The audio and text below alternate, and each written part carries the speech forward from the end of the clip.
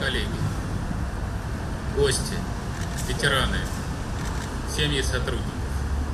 Сегодня, в канун профессионального праздника Дня сотрудника органов внутренних дел, мы открываем мемориал, посвященный памяти сотрудников, погибших при исполнении служебных обязанностей. Это очень знаковое и памятное событие для каждого из нас, для каждого из вас, для всех, кто неравнодушен к работе солдат правопорядка. Коллеги, на этом мемориале 16 фамилий. 16 фамилий людей, сотрудников разных поколений, погибших при исполнении долга и во время Великой Отечественной войны, и уже в мирное время. Но каждый из них, принимая присягу, давал клятву верности. И он выполнил эту клятву до конца.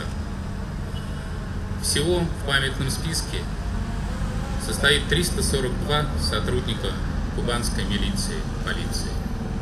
Вдумайтесь, это целый батальон. Это бессмертный батальон. И каждый из них, уходя на службу, выступая на смену, на дежурство, не мог и предполагать, что он не вернется. Не мог и предполагать, что его семья останется без сына, брата, отца.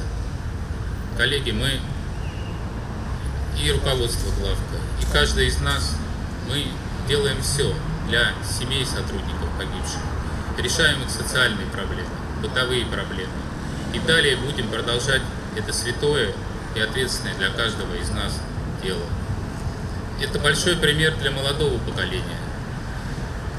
Сотрудники недавно пришедшие на службу, готовящиеся служить в органах внутренних дел, каждый раз проходя мимо данного мемориала, будут проникаться чувством ответственности и памяти и достойно нести свою служебную, свою службу и свою служебную ежедневную оперативно-служебную деятельность.